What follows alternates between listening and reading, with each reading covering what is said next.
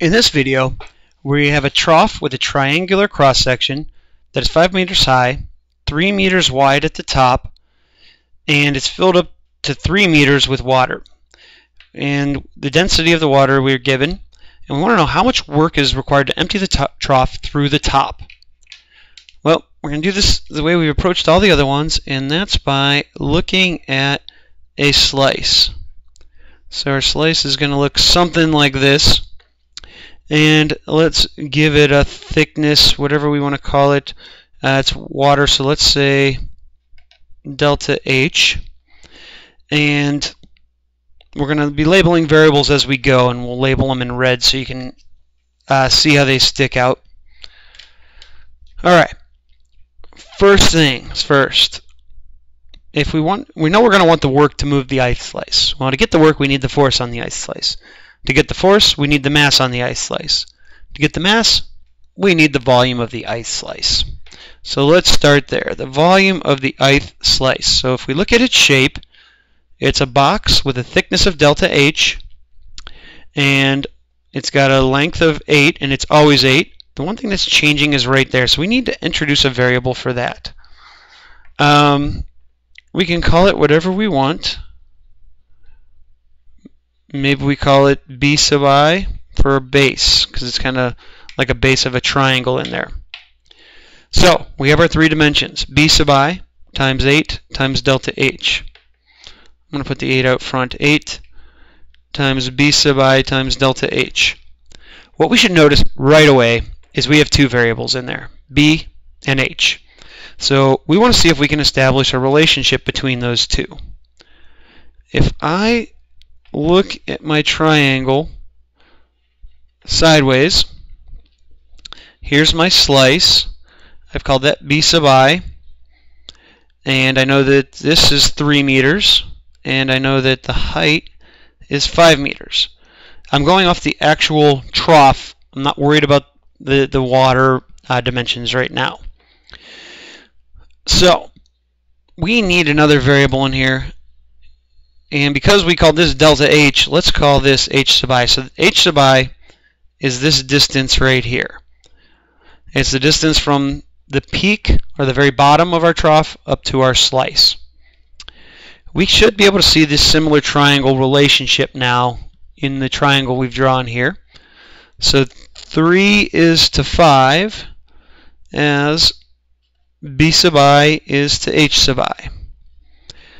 We want this solved for b sub i, so we can substitute. So b sub i equals, I cross multiply the h sub i, 3 fifths h sub i. Alright, so that was a little bit of scratch work. It's going to get this all in terms of one variable. So 8 times 3 fifths h sub i delta h, or 24 fifths h sub i delta h. We now have the volume of the ith slice. We need to turn that into a mass and then into a force. Those are actually pretty easy. The mass of the ith slice is just our density times the volume of the ith slice. So it's just our density times this. And then the force of the ith slice is just acceleration times our mass. So the mass of the ith slice times our acceleration. Well, our acceleration is the acceleration due to gravity. So it's g times the mass of the ith slice. So right here, if we put in a delta, we'll have 24 fifths delta h sub i delta h. And here we'll have 24 fifths delta delta g h sub i delta h. Now, you might get really good at these and be able to skip a lot of these steps, but I want you to see where everything's coming from. Also, realize that because what we're given is in kilograms per meters cubed and in meters, we needed to multiply by acceleration to turn it into a force because we found a mass. If these were in uh, pounds per foot cubed in feet, we would have gone straight from volume to a force by turning it into a weight. Just some things to point out. We're almost there. What we need now is the work on the ith slice. So that ith slice right here, we need to figure out how far it's getting moved out to the top of the trough. So if I draw in a line that represents that distance, it would go from the slice up to the top. Now think about what we know. We know from here to here is h sub i. And if I draw it, I can actually put it on this drawing too if it makes it a little clearer. This line that I drew in is 5 minus h sub i because we want to keep it in terms of h. This drawing gets a little cluttered after a while as you can see. That's the distance. So it's force times distance, so it's f sub i times the distance, which we just said was 5 minus h sub i.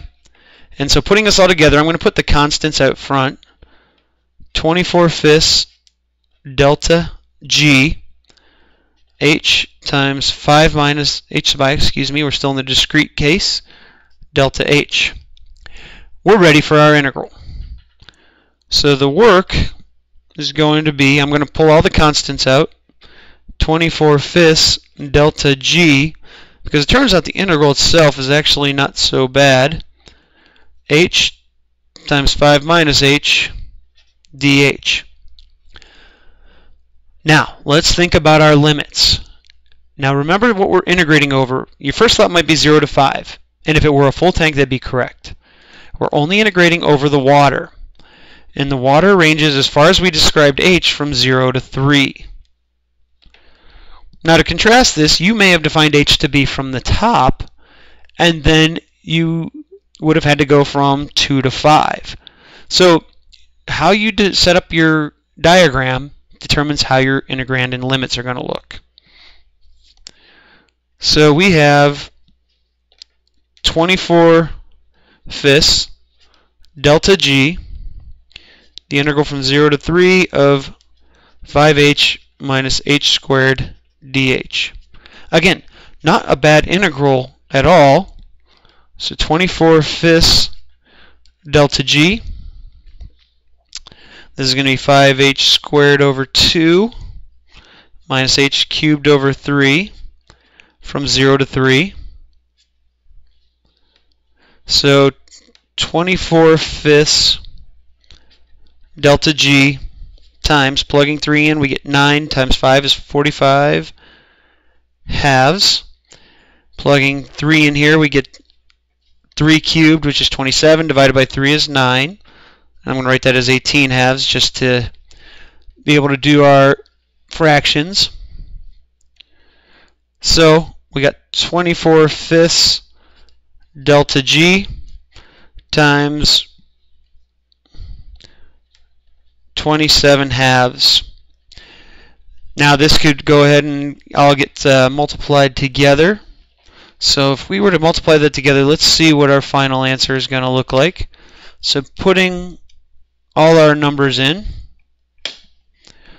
we have 24 divided by 5 times delta, which was 1,000, times g, which is going to be 9.8, times 27 halves.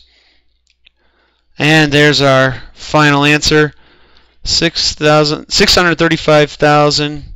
And 40. And the units, because of what we're in, kilograms and meters, is going to be joules. Now, let's make one alteration in the problem. We're not going to redo everything, but I'm going to make one small alteration and just show you how the integral would change. Let's say how much work is required to empty the trough to a height 2 meters above the top. Okay, and let's see how that affects our drawing. So now we're trying to get up to here which is 2 meters.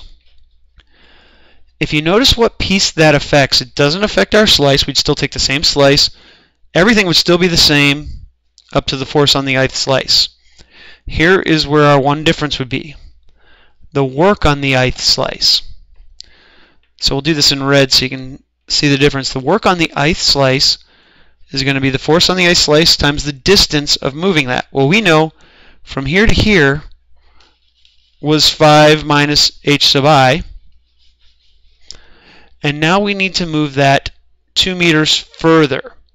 So this is actually going to now be 7 minus h sub i. That's the only difference as far as our work on the ith slice. So when we go to set up the integral for this one, it's going to be almost identical to what we had before. It's going to be the force on the ith slice, which was 24 fifths delta g h. Now it's going to be 7 minus h dh. And lastly, our limits aren't going to change because the water hasn't changed. So it's still going to be 0 to 3. So this is one variation that you might see on this kind of problem is raising it to a level that's above the top of your tank. It only makes a small effect in setting up the work for the ith slice. Everything else was pretty much the same.